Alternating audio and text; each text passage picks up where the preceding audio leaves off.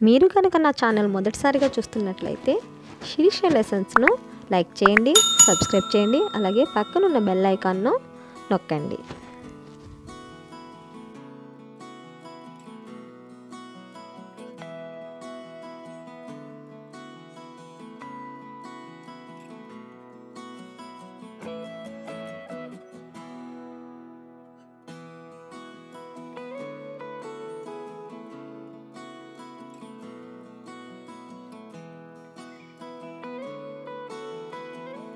సమయస్ఫూర్తి. పంచవటం అనే ప్రాంతంలో ఒక మర్రి చెట్టు త్వరలో రోమసుడు అనే పిల్లి విసిస్తుంది పంచవటం అంటే ఐదు చెట్ల సమూహం అని అర్థం. పంచ అంటే ఐదు వటం అంటే వృక్షాలు లేదా చెట్లు.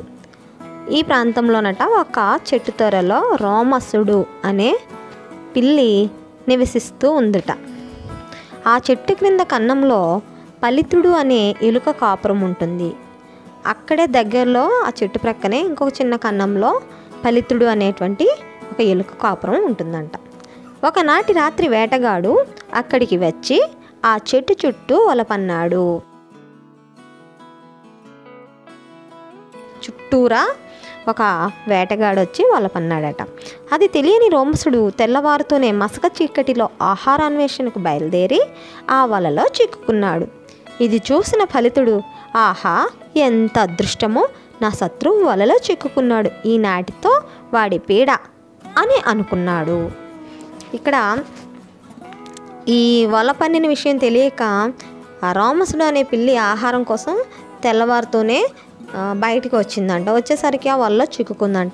అది వలలో చిక్కుకోగానే ఈ ఎలుక చూసి నా శత్రువు వలలో చిక్కుకున్నాడని ఆనందపడ్డాడంట.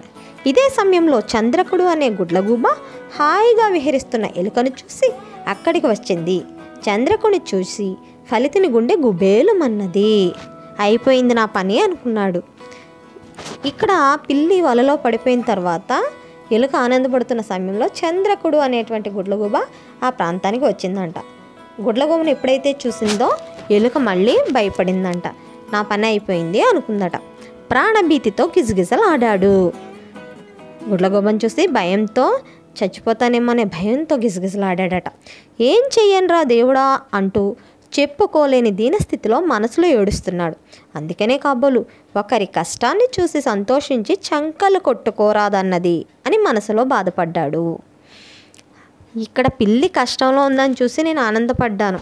కానీ వెంటనే గుడ్లగోబ రూపంలో నాకు కష్టం వచ్చింది. అందుకే ఎవరైనా కష్టపడితే మనం ఆనందపడకూడదు అని పెద్దలు చెప్పారు అని అనుకున్నదట.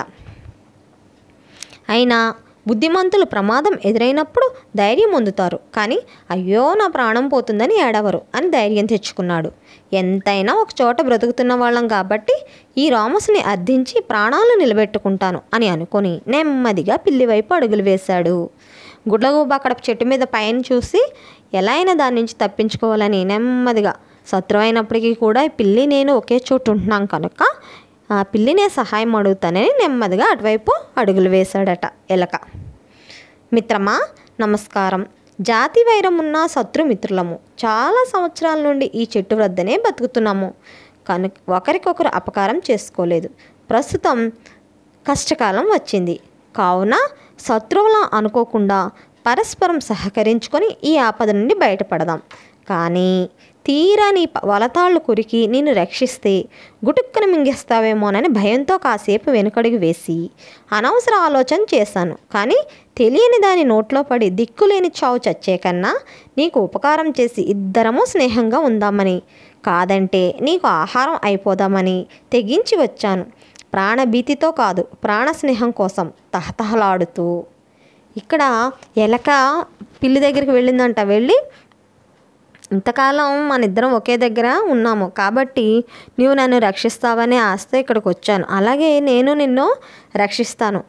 నేను నీకు జాతి వైరం మన ఇద్దరి మధ్య ఉన్నప్పటికీ కూడా నీతో స్నేహం కావాలని నేను ఇక్కడికి వచ్చాను కాబట్టి మన ఇద్దరి మధ్య ప్రాణ స్నేహం నిలబడాలి అని అడిగిందట. అంతా విన్న రోమసుడు ఆనంద పరవశుడయ్యాడు అతనికి భయం లేకపోవడానికి అతని ఆలోచనలకు సంతోషించాడు.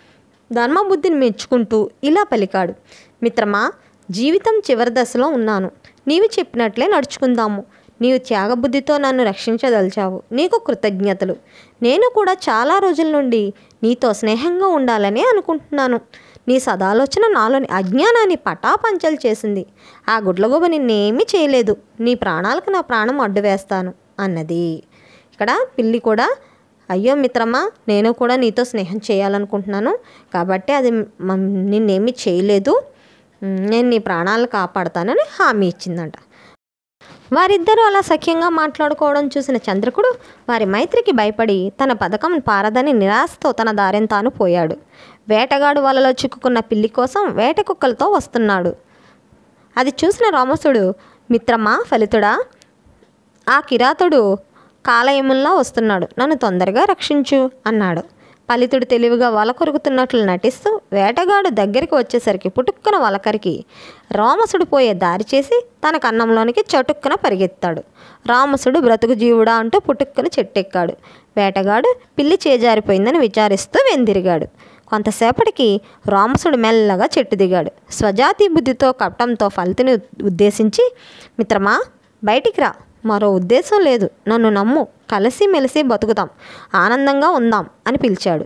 తెలివైన ఫలితుడు కనిపించి కనిపించకుండా కన్నంలోంచి తల బయటకు పెట్టాడు. తొందరపడి బయటకు రాకుండా ఇలా అన్నాడు.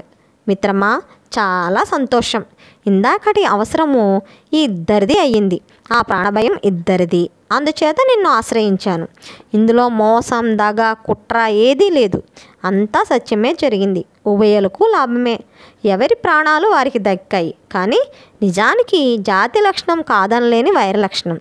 బయటికి వచ్చాననుకో నాకు ప్రాణగండం తప్పదని తెలుసు అని పలికి కన్నంలోకి దూరి మాయమయ్యాడు.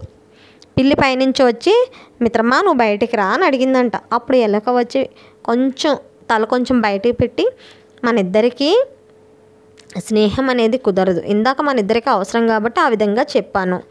కాబట్టి ఎవరి లక్షణం వాళ్ళకే ఉంటుంది కాబట్టి మన ఇద్దరికి స్నేహం కుదరదు నువ్వు వెళ్ళిపో అని చెప్పిందంట.